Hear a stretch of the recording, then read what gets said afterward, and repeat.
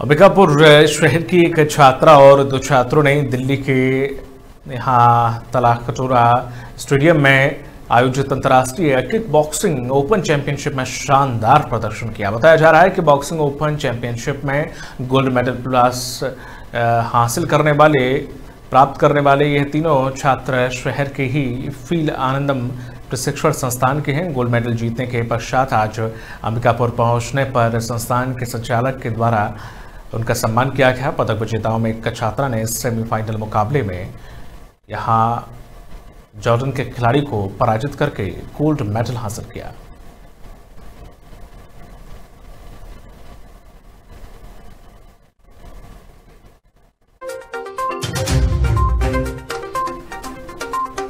South Korea, Jordan, Kazakhstan Uzbekistan UK और भी थे बट अभी मेरे को नाम इतना ही याद है।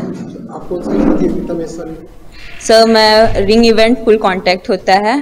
उसमें पार्ट ली थी माइनस फिफ्टी सिक्स के जी कैसा किस तरह का खेल रहता है सर इसमें पावर हिटिंग यूज़ होती है। हाथ और पैर मतलब किक्स और पंच दोनों का यूज़ होता है। हमारे फील आनंद संस्था से किक बॉक्सिंग के तीन बच्चे गए वहाँ।